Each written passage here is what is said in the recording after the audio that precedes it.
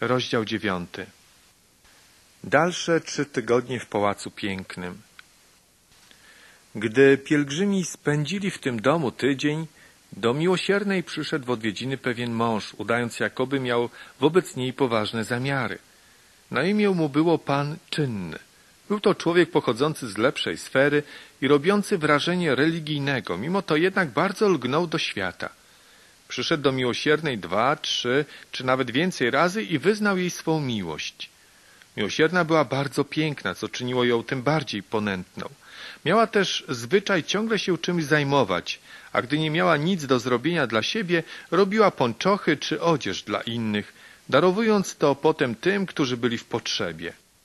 Pan czynny, nie wiedząc co robiła z tymi rzeczami, które sporządzała i komu je dawała, wielce był ujęty tym, że nigdy jej nie zastał próżnującej. Jestem pewny, że będzie dobrą gospodynią, zwykł mawiać sam do siebie. Miłosierna wyjawiła jednak tę sprawę dzieweczkom mieszkającym w tym domu i zaczęła się dowiadywać, co to za człowiek, ponieważ znały go one lepiej od niej. Powiedziały jej więc, że jest to bardzo czynny, młody człowiek, jeden z tych, którzy uważają się za religijnych. Niemniej, zdaniem ich zachodziła obawa, że prawdziwa moc płynąca z religii była mu czymś obcym. Jeśli tak, rzekła miłosierna, to już więcej na niego nie spojrzę, ponieważ nie mam zamiaru obciążać swej duszy. Na to roztropna powiedziała, że aby go od siebie oddalić, nie trzeba wiele czynić. Wystarczy, aby kontynuowała dzieło, które rozpoczęła, to jest pomagała ubogim, a jego gorąca miłość wnet ostygnie. Gdy przyszedł więc następnym razem, zastał ją jak zwykle przy pracy, szyjącą odzież dla ubogich. Rzekł więc, cóż to, zawsze tak pracujesz? Tak, odpowiedziała, albo dla siebie, albo dla innych. A ileż też możesz zarobić za jeden dzień? zapytał. Ja robię te rzeczy, odpowiedziała, aby być bogatą w dobre uczynki, skarbiąc samej sobie grunt dobry na przyszły czas, aby otrzymać żywot wieczny. 1 Tymoteusza 6, 18, 19. Dlaczegoż to? Proszę, powiedz mi, i co robi z tymi rzeczami? pytał dalej. Przyodziewam nagich, odpowiedziała. Gdy usłyszał te słowa, na twarzy jego odmalowało się uczucie wielkiego zawodu. Przestał też przychodzić do niej, a gdy go zapytano dlaczego, powiedział, że miłosierna jest wprawdzie piękną dziewczyną, ale ma jakieś niezdrowe poglądy. Gdy ją więc zostawił, roztropna rzekła, czy nie powiedziałam ci, że pan czynny już więcej do ciebie nie przyjdzie? Ba, on nawet gotów jest cię obmówić. Pomimo tego bowiem, że wydaje się być religijnym i pomimo pozornej miłości do ciebie, miłosierna, macie tak różne usposobienia, że moim zdaniem nigdy byście się ze sobą nie zgodzili. Miłosierna, ja mogłam już nieraz wyjść za mąż, choć o tym nikomu nie mówiłam. Byli to jednak ludzie, którym nie odpowiadały moje zasady, choć żaden z nich nie zarzucał niczego mojej osobie jako takiej. Dlatego też nie mogliśmy się pogodzić. Roztropna, w naszych czasach miłosierdzie jest w małym poważaniu. Samo to imię wielu wprawdzie lubi, ale niewielu jest takich, którzy podobnie jak ty czynem potwierdzają takie zasady. Miłosierna, trudno. Jeśli mnie nikt nie zechce, umrę panną, albo też moje zasady zastąpią mi męża. Nie mogę bowiem zmienić mojej natury, a do końca życia nie zgodzę się współżyć z kimś, kto by mi w tych rzeczach chciał przeszkadzać. Miałam siostrę, której na imię było obfitująca. Wyszła ona za mąż za jednego z takich właśnie gburów, to też nie mogli nigdy się pogodzić. Ponieważ moja siostra postanowiła jednak w dalszym ciągu czynić to, co rozpoczęła, to jest okazywać dobroć ubogim, mąż jej najpierw publicznie ją zwymyślał, a nareszcie wyrzucił ją z domu. Roztropna, a jednak przekonana jestem, że wyznawał wiarę w Boga. Miłosierna oczywiście, wyznawał, że jest religijny i to pomimo tego, że się tak zachowywał. Takich jak on, na świecie jest pełno, ale ja nie chcę żadnego z nich znać. Tymczasem najstarszy syn chrześcijanki, Mateusz, zachorował i to ciężko. Chwilami aż się zwijał z bólu. Niedaleko jednak mieszkał niejaki pan, umiejętny, stary i bardzo poważany lekarz. Chrześcijanka poprosiła więc, aby po niego posłano. Gdy wszedł do pokoju i przyjrzał się przez chwilę choremu chłopcu, stwierdził, że choruje na żołądek. Zwrócił się więc do matki zapytaniem, co Mateusz otrzymywał ostatnio do jedzenia. Same dobre rzeczy i pożywne, odpowiedziała chrześcijanka. Na to lekarz rzekł. Ten chłopiec musiał zjeść coś, co teraz leży niestrawione w żołądku i czego nie da się usunąć bez zastosowania środków pomocniczych. Oświadczam wam też, że koniecznie trzeba dać mu na przeczyszczenie, w przeciwnym bowiem razie chłopiec umrze. Naraz Samuel zawołał: Matko, matko, co to było, co mój brat zbierał i jadł, gdy tylko wyruszyliśmy w drogę od bramy, znajdującej się na początku tego szlaku? Przypomina sobie, że po lewej stronie za murem był sad, a niektóre gałęzie zwisały ponad murem i brat mój zrywał te owoce i jadł. Chrześcijanka, to prawda, moje dziecko. Mateusz istotnie jadł te owoce, był wtedy niegrzeczny i skarciłam go za to, a pomimo to jednak je zrywał. Umiejętny, wiedziałem, że musiał zjeść coś niezdrowego, a te owoce, o których wspomnieliście, są właśnie najbardziej szkodliwe, Pochodzą one bowiem z sadu Belzebuba. Dziwię się, że nikt nie ostrzegł was przed nimi. Wielu już bowiem, którzy jedli te owoce, umarło. Wtedy chrześcijanka rozpłakała się i rzekła, o nieposłuszny chłopcze, o jaką niedbałą matką jestem, cóż uczynię, by ratować mego syna? Umiejętny, nie rozpaczaj, Chłopiec może znów być całkiem zdrowy, musi tylko wziąć coś na przeczyszczenie i koniecznie trzeba spowodować wymioty. Chrześcijanka. Panie, zrób wszystko, co w Twojej mocy, aby go ratować, bez względu na to, ile to będzie kosztowało. Umiejętny. Nie ma obawy. Mam nadzieję, że nie będę musiał żądać wysokiego wynagrodzenia. Przygotował mu więc środek przeczyszczający, ale okazał się za słaby, był bowiem sporządzony z krwi kozła i popiołu jałowicy z domieszką soku hizopu. Żydów 9, 13, 19. Gdy pan umiejętny zobaczył, że ten środek był za słaby, sporządził mocniejszy, ze składników zwanych po łacinie ex carne et sanguine Christi, Jana 6, rozdział 54 do 56 wiersza, Żydów 9:14. Jak wiadomo, lekarze dają swym pacjentom dziwne lekarstwa. Składniki te zostały przygotowane w postaci pigułek wraz z jedną czy dwoma obietnicami i odpowiednią ilością soli. Marek 9,49. Polecił je zażywać po trzy naraz, poszcząc w jednej ósmej litra łez pokuty. Zachariasz 12,10. Gdy lekarstwo było gotowe, przyniesiono je chłopcu, a on wzbraniał się przed przyjęciem go, choć boleści męczyły go do tego stopnia, że mu się zdawało, iż rozrywają go na kawałki. Prędko, chłopcze, musisz to połknąć, rzekł lekarz. Ależ to lekarstwo jest obrzydliwe, odparł chłopiec. Ja, matka, stanowczo rozkazuję ci je zażyć. Na pewno je zwymiotuję, powiedział chłopiec. Proszę cię, panie, rzekła więc chrześcijanka do pana umiejętnego, pozwól, że skosztuję, jak to smakuje. Nie ma złego smaku, powiedział doktor, po czym chrześcijanka dotknęła końcem języka jedną z pigułek. O Mateuszu, rzekła, to lekarstwo jest słodsze aniżeli miód. Jeśli kochasz twoją matkę, jeśli kochasz twych braci, jeśli kochasz miłosierną, jeśli kochasz swoje życie, to zażyj je. Wreszcie po wielu naleganiach i krótkiej modlitwie z prośbą o błogosławieństwo Boże zażył to lekarstwo i zrobiło mu się dobrze. Przeczyściło go, sprawiło, że spokojnie zasnął i wypoczął. Dobrze go rozgrzało, tak że się mocno wypocił i całkowicie został od boleści żołądka uwolniony. Tak więc po krótkim czasie mógł już wstać i przechodzić o lasce z pokoju do pokoju, rozmawiając z roztropną, pobożną i dobroczynną o swej chorobie i o tym, jak został uzdrowiony. Gdy chłopiec był już zupełnie zdrowy, chrześcijanka zapytała pana umiejętnego, ile jest winna za jego trudy i opiekę roztoczoną nad jej dzieckiem. Na to on odpowiedział, musi zapłacić przełożonemu wszystkich lekarzy. Żydów 13:15, stosownie do obowiązujących przepisów. Chrześcijanka. Zechciej mi tylko jeszcze powiedzieć, panie, w jakich przypadkach pigułki te mają zastosowanie. Umiejętny. Jest to uniwersalny środek mający zastosowanie przy wszystkich chorobach, na które skłonni są zapadać pielgrzymi. Jeśli pigułki te są dobrze zrobione, to można je nawet przez długi czas przechowywać bez obawy, że się zepsują. Chrześcijanka, proszę cię, panie, sporządź mi więc dwanaście pudełek takich pigułek. Jeśli bowiem mogę zaopatrzyć się w to lekarstwo, nie będę już nigdy potrzebowała sięgać po jakieś inne środki. Umiejętny. Pigułki te służą nie tylko do leczenia, gdy ktoś jest już chory, ale są bardzo pomocne w zapobieganiu chorobom.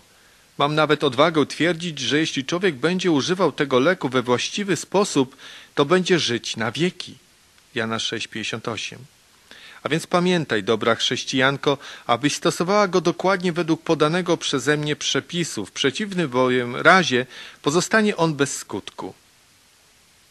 Pan umiejętny dał więc chrześcijance lekarstwo dla niej samej, dla chłopców i dla miłosiernej, po czym przestrzegłszy jeszcze raz Mateusza przed jedzeniem zielonych śliwek, pocałował ich i odszedł.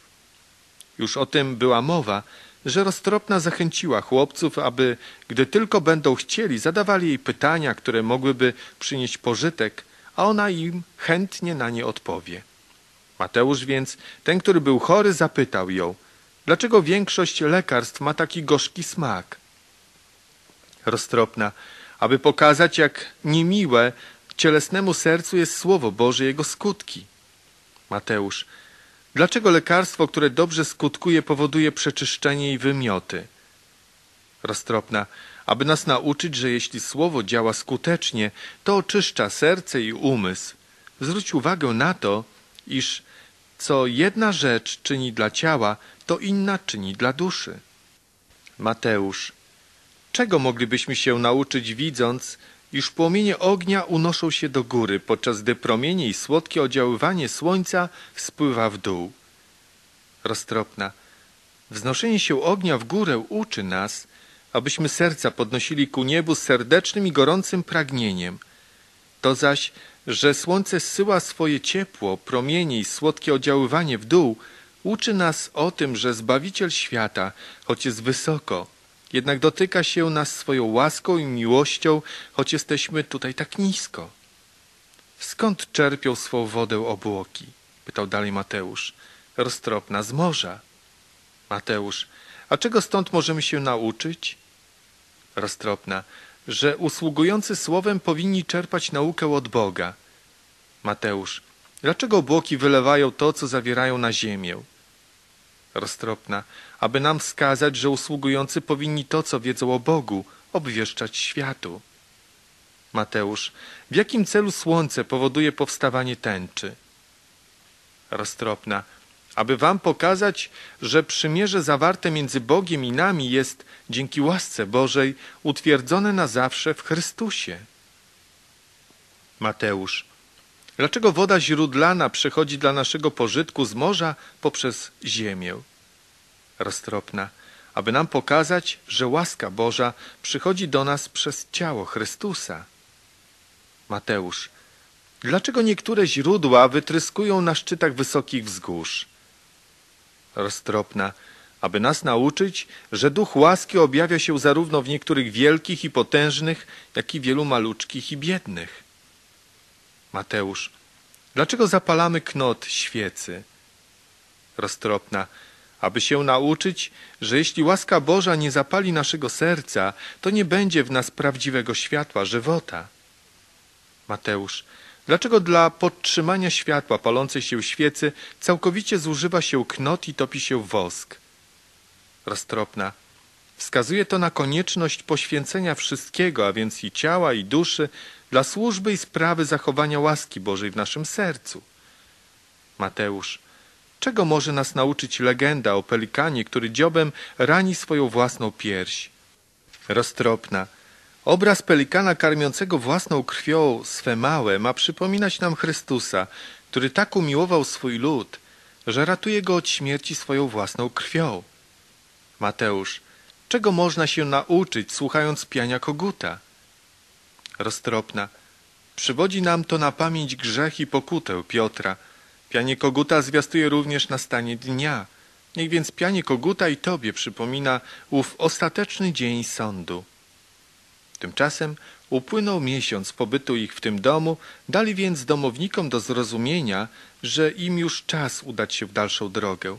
Józef zaś rzekł do swej matki – Należałoby nie zapomnieć posłać do domu tłumacza prośby o zezwolenie panu wielkie serce, aby był naszym przewodnikiem w pozostałej części podróży i o przysłanie go do nas.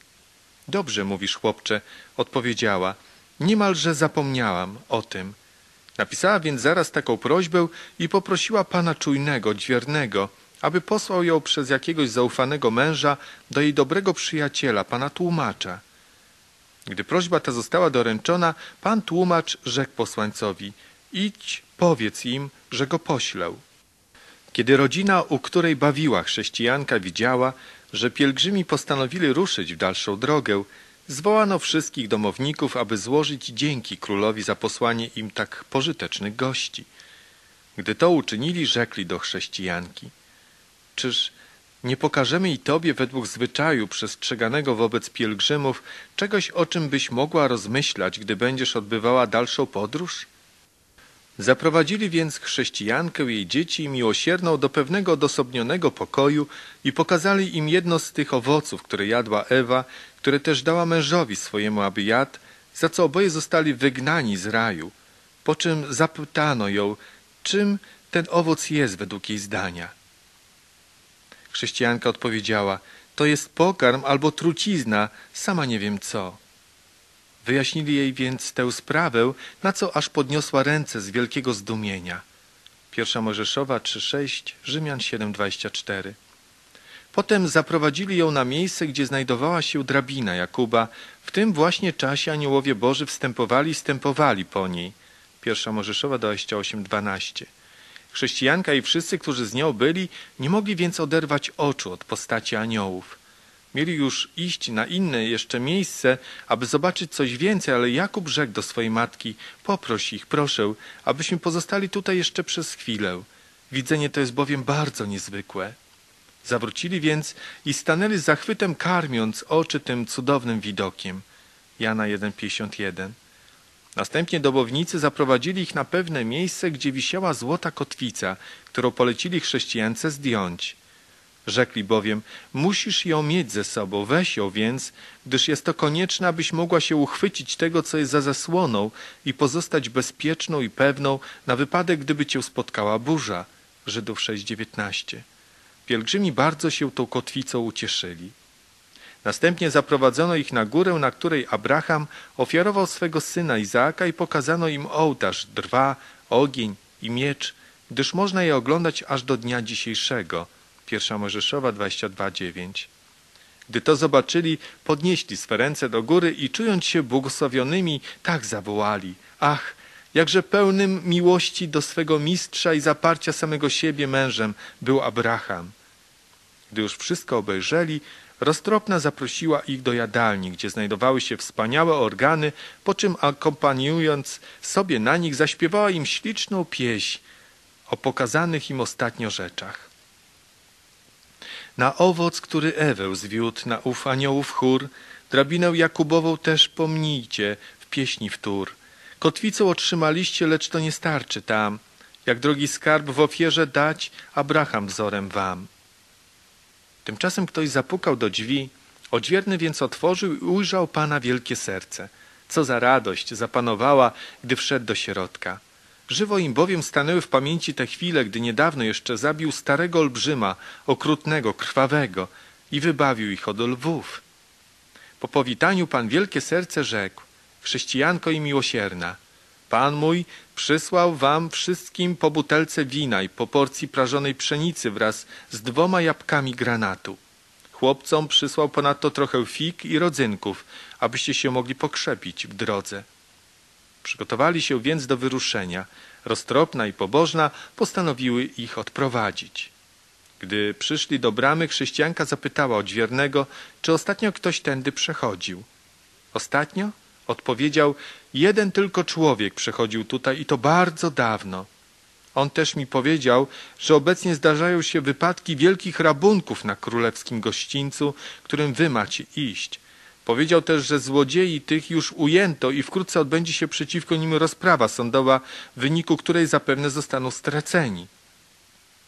Wieść ta bardzo przestraszyła chrześcijankę miłosierną, co widząc Mateusz rzekł: Nie bój się niczego, matko, przecież Pan wielkie serce pójdzie z nami jako przewodnik. Wówczas chrześcijanka rzekła do odźwiernego: Jestem ci, panie, niezmiernie wdzięczna za wszystką dobroć, którą mi okazywałeś w czasie całego mego pobytu tutaj, a także za to, że byłeś tak pełnym dobroci w stosunku do moich dzieci. Nie wiem, jak będę się mogła za dobroć Twą odwdzięczyć. Dlatego proszę Cię, zechciej przyjąć ode mnie jako dowód mojej wdzięczności ten drobiazg. Mówiąc to, włożyła mu do ręki złoty pieniądz. On zaś ukłonił się nisko i rzekł: Szaty Twoje niech będą zawsze białe, a olejku na Twojej głowie niech nie braknie. Kaznodziei 9:8. Niech żyje miłosierna, a nie umiera, a niech będzie uczynków jej poczet. Piąta Mojżeszowa 33:6. Do chłopców zaś rzekł: Chrońcie się porządliwości młodzieńczych, a naśladujcie bogobojności wraz z tymi, którzy są poważni i mądrzy. 2 Tymoteusza 2:22. A wówczas serce waszej matki napełni się radością i będziecie się cieszyli uznaniem rozsądnych ludzi. Wysłuchawszy wszystkiego, podziękowali jeszcze odwiernemu i udali się w drogę.